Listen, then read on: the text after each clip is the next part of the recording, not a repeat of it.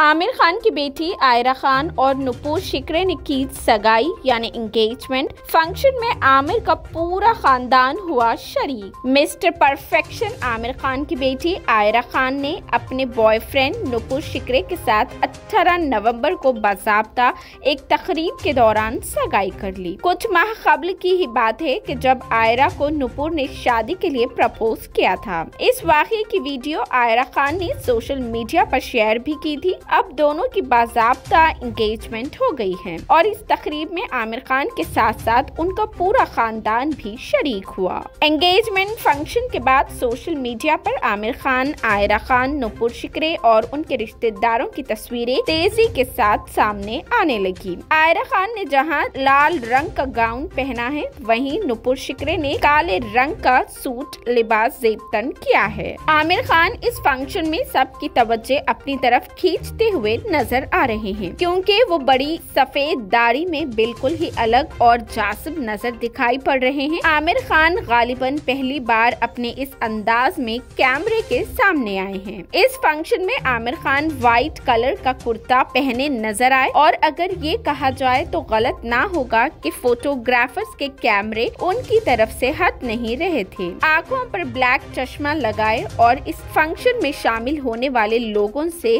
गरम गर्म जोश के साथ मिल रहे थे। आमिर की पहली बीवी और आयरा खान की माँ रीना दत्ता भी बेटी की सगाई में पहुँची थी। वो जर्द रंग की सारी जेब तन किए हुए थी। उनके अलावा आयरा का भाई जुनैद खान, सौतेली माँ किरण राव और सौतेला भाई आज़ाद राव खान भी सगाई तकरीब में शरीक थे। आयरा की दादी जीनत हुसैन और फूफाजाद भाई इमरान खान भी तकरीब में पेश नज़र आए। साथ ही आमिर खान की दोनों बहनें निखत और फरहत भी आयरा नुपुर को नेक ख्वाहिशात पेश करने के लिए पहुँची हुई थी। आमिर खान की बेटी आयरा और नुपुर की सगाई के वीडियोस सोशल मीडिया पर तेज़ी के साथ वायरल हो रहे हैं।